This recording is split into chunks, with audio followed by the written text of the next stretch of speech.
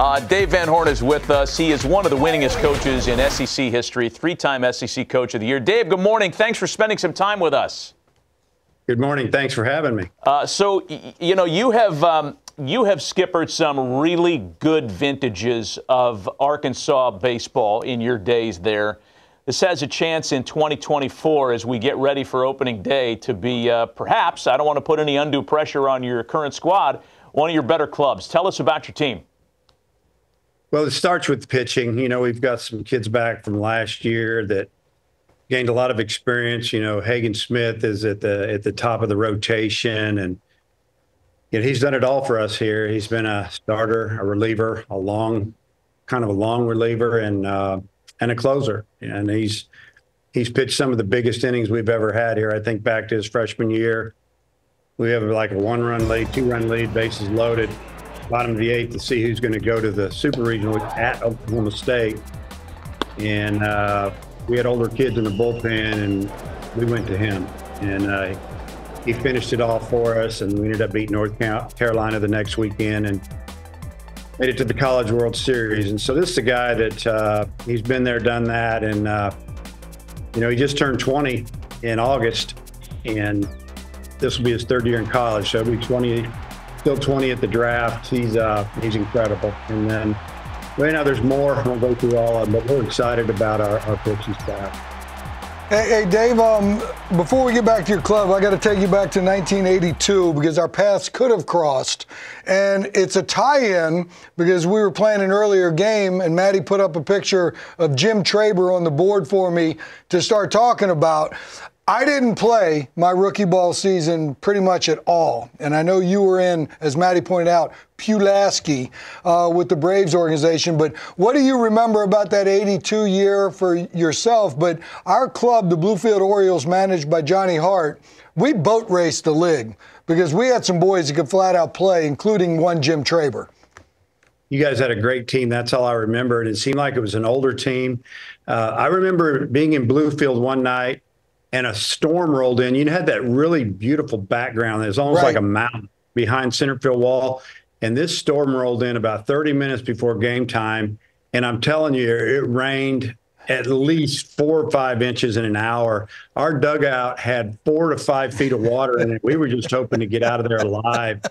Yeah, we got out of there, and that's the main thing I remembered about Bluefield. But I, I do remember, yeah, uh, the Orioles had a great club that summer. Wasn't that center field wall in Bluefield nothing more than concrete cinder block? Or cinder block. Oh my God! It wasn't just the center field wall; it was the entire wall. Treacherous. with cinder block. Oh, there, there was a few walls like that in the minor leagues back then, and I mean, it was you could end your career real quick if you uh, if you didn't watch out. Hey, Dave, uh, so you're entering your 22nd season there, and I applaud that because in the landscape of sports now, and college too, it seems like the grass is always greener somewhere else. People are doing one year here, then going over there, find another place to go. Um, take me through this because 22 years, you, you found a spot you like, and you just set up shop. Yeah, I tell you, you know, I left the University of Nebraska.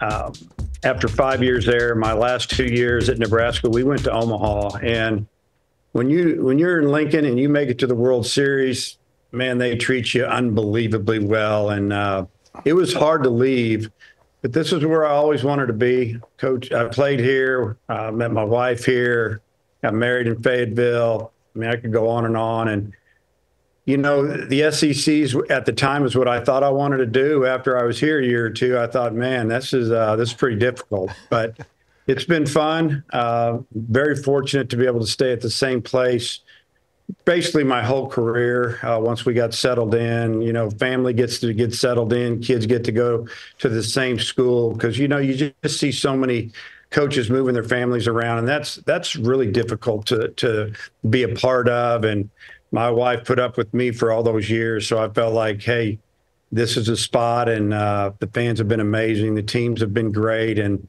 uh, it's uh, it's a special place here in Fayetteville. You know, between uh, your baseball community in Fayetteville and the baseball community that's in Little Rock, with uh, being a longtime minor league team of the Cardinals, the Arkansas Travelers, the legendary former umpire Bill Valentine, who used to run that team. Uh, I, I, think a lot of fans kind of have a misconception that, that Arkansas's football country uh, because of the, the success that program has had. Baseball is a, a very relevant endeavor in Arkansas. So, as such, my question for you, Dave, does a lot of your recruiting come in your backyard, or are you guys looking around the, the whole map? Well, you know, small population, but number one, we want to get the, the best kids out of the state. You know, we miss on one every now and then, and it's just, you know, credit to those kids for developing maybe a little later, or maybe they just want to go somewhere else. But we, number one is to get the kids in Arkansas and then uh, you know, then maybe in a uh, the bouldering state, and then after that, I'm telling you, it's it's all over the place. If you look at our roster, we've got kids. We've got two kids from Hawaii. We get them from all over. You have a lot of kids playing in the big leagues too. Uh, by our uh, by our research, 13 former Razorbacks uh, played uh, in the big leagues last year. That's got to be an immense source of pride for you personally.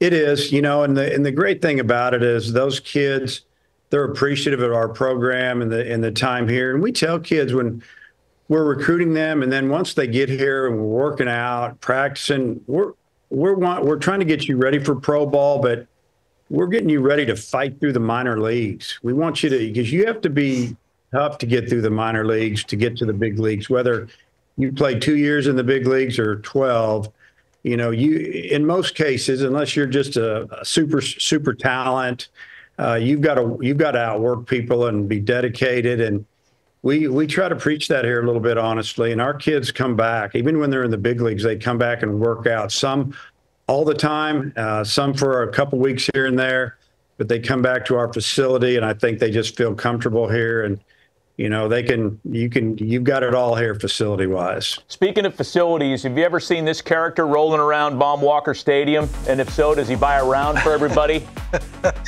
Uh, maybe maybe more than one round actually but uh, uh, john daly you know what? Yeah john's awesome. He, he's just a fun guy. I got to tell a quick story.